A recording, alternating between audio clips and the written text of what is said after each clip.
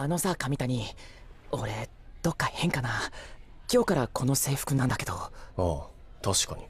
確かに？こんなところまで後ろにガキども引き連れて。何やってんだお前。あ小太郎！なんでここに？みんなも！小太郎が来たそうだったからついてきてやったんだよ小太郎。